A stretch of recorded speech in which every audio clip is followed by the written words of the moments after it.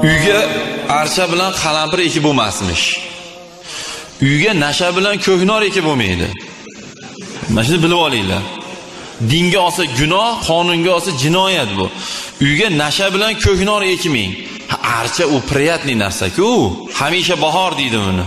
Doim yashil turadi. Bunday ichsangiz ko'nglingiz yayraydi pulingiz bo'lsa sharoit bo'lsa qimmat archalardan eking. Mana o'sha bitta mahalladan aytib kelishdi o'sha bo'lganligi uchun. Bitta o'sha mahallada endi hamma otinoyilarga tegib ketmasin bu gapimiz. Biz otinoyilarga hech bir e'tirozimiz yo'q. Agar to'g'ri yurib to'g'ri xizmat qilayotgan bo'lsalar o'sha mahallani otinoyisi kirib betini to'sibdi. Iye nima bo'ldi? Palonchi pashaxon opa desa voy uylanga archa ekibsizlar tezda ustini o'rab beringlar tavba. Mana shuda endi hayron qoladigan ishda. Shu o'sha kishi o'sha hududni otinoyisi bo'lib yuribdilar endi. Qalampirda aytishadi endi u qirq yil qarzingni uzaman deydi. Наоборот u zo'rga zo'r hosil beradiyu bugun borib uyga tuvakka mehmonxonaga qalampir ekinglar. Eking qalampir. Nimaga ekib bo'lmaydi? Qalampirni qo'lga berib bo'lmasmish. Nimaga berib bo'lmaydi? Duo qilayotib dasturxonda pichoq turib bo'lmasmish. E ha duoda u bitta xanjarga nima daxli bor? Duoda qirqarmish u uyga kilonka solib masalan dasturxon qoqmasdan hozir endi kultura bo'lib ketdi madaniyat bo'lib ketdi. Kimdir chachiqni o'rniga salfetka ishlatyapti dasturxonni o'rniga chiroyli bitta kilonkani solib qo'ygan qoqmaydi artadi misol nima dermish yo'q bunaqada yegan ichganimizni savobi dadam buvamga bormaydi. E ha u dasturxonni savobga nima daxli bor uni? Аккуратный qilib artib idishga uvog'ini olib masalan yo tovuqqa beryapti yo bir chekkaga to'ksa masalan qushlar yeydi misol. Uni chachib bo'lmay bir chekkaga to'ksa qushlar yeydi. U ham sadaqa bu. Uni nima daxli bu? Mana o'sha ayollar ichida yana shunday bidatlar bor ekan o'sha biz bilmaganligimiz uchun bizga hayron man shu yerda yozib yo olloh dedim. Bu hayotda to'g'ri ish qolmabdiyu devordimda mana hozir qirqtaga yaqin narsa yozib tashlaganman. Haligi ayollarni ichida o'sha o'xliq chekish degan narsalarni ham qanaqadir bir e, bir nimadir narsa deb o'ylashar ekan. Masalan birovdan bir o'xloqmi bir narsa olsa uni quruq qaytarib bo'lmasmish. Yana ayollarni marosimi bor buysham mushlik deb deyishadi. O'sha ertakda o'qishadi tapichkasi yo'qolib qolibdi bu narsalar deb. Shuni xotinlarga o'qitmanglar mana shu narsani. O'sha ayollar ham e, o'sha yetkazib qo'yinglar o'sha ayollarga. Mushkulimizni shod qilib mushkulimizni yechadigan faqat Alloh bo'ladi. Halollik to'g'rilik ibo hayo sizni mushkulingizni oson qiladi. U ko'chada chalpay tarqatish mushkulimizni oson qilmaydi u. Tasavvur qiling mana hozir mana shu kunlarda boshlandi shu narsa. Ha siz sahar holvetar olib chiqadi. Tushimda dadamni ko'ribman ha dadangizni ko'rsangiz nima holvetar qilasiz? Qovog'i soliq ko'ribman ha siz aroq ichayotganingiz uchun dadangiz qovog'ini solib tushingizga kirdi. Siz u holvetar qilmay aroq ichishingizni tashlaysiz. Ibodat qilmayotganingiz uchun o'sha azoblanayotgani uchun xafa holatda tushingizga kirdi. Ibodatingizni boshlang. Ho'p keyin e, o'ziga o'zi bitta hayvonni xoslab olish. Nima deydi kumirim deydimi? Nimadurdirkan buni? Mani palondaqa chayan yo mushuk yoki nimadurdirkan shunaqangi ko'proq bir ayollarda bo'lyapti bu. Keyin munajjim bashoratlariga e, bugun ko'chaga chiqmang desa uyda o'tiradigan musulmonlar bor ekan. Bugun siz yomonlik kutadi. O'sha sizga shu bashoratni bergan odamni o'zini qarangda o'zi kanalizasiga tushib ketgan o'zi bilmaganki tushib ketishini o'sha. O'zi avariya bo'lgan. Bu ikki, juma oldin aytdimmikin? Bitta obro'li odamni e, oldiga bir folvin kelib sizni hamma kelajagingizni aytib beraman deganda qulog'ini qo'yib yuborgan ekan. E nimaga urding desa o'zing kalta eshikni bilmadingmi san bashoratchi bo'lsang. Tur yo'q albattan degan ekan. O'sha agar qulog'ini tagiga shu mani uradi deganda kelamidi o'shani oldiga? O'zini bilib olsin. Islom yulduzi kanali. Dunyoga mukammal nigoh. Keyin xalqimiz ichida o'sha nima emish? Tuz to'kilmasmish. Tuz to'kilsa yomon bu gap so'zga qolarmish. Ha tuzni idishini noto'g'ri ushlagandan keyin to'kiladida u. Tuzni nima daxli bor hayotimizga? Keyin bitta akamiz aytib berdilar uyni tuz idishni qarasang suvay turibdi keyin adashib bolalar sopsada olib tashlab ana tuz idishga qarab qo'yinglar.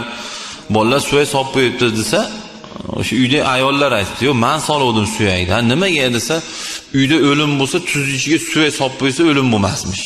Mana. Ayollarimiz ichiga chiqayotgan gaplarni bittasi. Bitta odam ko'chaga chiqib ketsa safarga chiqsa uni orqasidan shipiri bo'lmasmish. Bitta odam robotdan tashqariga chiqsa endi uyga qaytib kirib bo'lmasmish. Ishi yurmasmish. Bitta narsa esidan chiqib qolib ketsa ham kirib qaytib olib bo'lmasmish. Ishi yurishmas ekan u odam. Qora mishiqni endi hammalar bilasizlar endi. Qora mishiq bu katastrofa. Yo'lidan chiqsa bo'ldi tamom. Keyin kelinni yig'ilgan ko'rpasini ikkinchi marta yig'ib bo'lmas ekan. Shuning uchun og'namaslik kerak ekan. Ha endi ko'rpa yig'ishni bilmagan odam yiqqandan keyin og'anaydida u. U og'anasa qanaqadir baxtsiz bo'larmish. Safar oyida to'y qilib bo'lmasmish. Safar oyida to'y qilgan odam baxtli bo'ladi kerak bo'lsa. Nikoh uzugini yo'qotib qo'ysaymish u oila uzoqqa bormasmish. Nikoh uzugini taqayotganda yerga tushib ketsa bo'lmasmish. Nikoh uzugi bilasizlarmi qayerdan kirib kelgan? Bizni islom dinida nikoh uzugi umuman daxli yo'q narsa. Birinchidan erkak kishiga tillo narsa harom bo'ladi. Ikkinchidan qanaqasiga nikoh uzugi bo'lishi mumkin? Faqatgina o'sha ayol kishiga podarka qilib erkak kishi hamiyatli erkak ko'pchilik ichida taqmaydi xotiniga uzukni uyda ya o'zi moshinada olib ketayotganda mana deydi. Tizzalab berilmaydi uzukni ayolga tizzalanmaydi. O'sha boshidan berib beryapsizda ayolga. Haligi hozir yevropadan ommaviy madaniyatdan o'rganyapti bilasizlar sevgisini shuna izhor qiladi. Ko'pchilikni ichida o'zicha ular uchun bu bir nima deydi bir mo'jizadek bitta tizzalaydilar idishni ochib uzukni beradilar bo'ldi. Shu eng zo'r baxt shu ular uchun. Bizda eng zo'r harflik shu biz uchun. Bizni millatga umuman to'g'ri kelmaydi bu. Xotin kishiga tizzalaydi jahonda erkak kishi. Keyin ayollar ichida bir gap bor ekan mashina ham yetkazib qo'yish kerak. Shuni yangi turmushga chiqqan qizni uyiga ko'rpasiga narsalariga ikkita oila qurgan ayolni yaqinlashtirishmas ekan. Nimaga desa ikki marta bu ya'ni eri o'lib qolganligi uchun yoki eridan ajraganligi uchun ikkinchi marta turmushga chiqqan ayol o'shanga yaqinlashib bo'lmaydi. Sababi buni ham turmush ikki marta bo'lib qolishi mumkin. Ko'ryapsizmi? Nimalardan shumlanyapmiz? Nimalardan biz gumon qilyapmiz? Qadigi yo'q bo'lmagur narsalardan biz gumon hamma yo'q nima? Val qadari xayrihi va sharrihi minallohi taala. Taqdirda yaxshisi ham yomoni ham xudodan bu. Yana eng mana man misol qirq birga kirgan bo'lsam sizlar ham endi eshitsalaring kerak shu yetmishga kirgan odamman bu bir kulgiz ham keladi bir yig'lagiz ham keladi. U nima desangiz ikki qat tut bo'g'iz tut bo'g'iz daraxt degan nom qo'yib olishibdi. Bo'g'iz deganda bilasan bu mol desa bo'g'iz mol deydiyu shunaqa. Farzand ko'rmayotgan qizini kelinini o'shanaqangi daraxtga olib borib aylantirish paydo bo'lib qolibdi. Qanaqadir o'sha e, ekilganda biror joyi bukilib qolgan daraxt bo'lsa shu bo'g'ozga o'xshab qolgandirda endi. Shuni olib borib o'sha tug'mayotgan kelinini yo qizini olib borib aylantirib kelyapti ekan. Azizlar bu endi eng yomon bu shirk bu. Bu gunohi kabira bu. Hali ko'pchilik qilayotgan ishni biz e, noto'g'ri devorgani qo'rqmaylikda biz bu narsalarni. Ochiq aytyapti bu juda yomon narsalardan bittasi ha ko'zmunchoq saqlaydida deyapti. Nimani saqlaydi ko'zmunchoq u bitta plastmassa bo'lsa bitta ishcha bo'lsa u nimani saqlaydi bizni xudo saqlaydi. Qiyinchilikmi? Xudo beradi agar bergisi kelsa sinayman desa. Keyin eng uyat ishlarimizdan bittasi buni ham qilmasa bo'lmaydi deyisharkan ho'p o'sha ayollarni uylangan kuyov bola chimillig'iga kirgan kunida oyna ko'rsatishadi. Biz ayni deydiyu oyna ko'rsatishadi. Bu eng bezbetlik ishlarimizdan bittasi bu. Oyna ko'rsatib savolini aytgani ham uyatasiz sanga nima qizig'i bor uni qachonligi qanchaligi? Sanga nima qizig'i bor?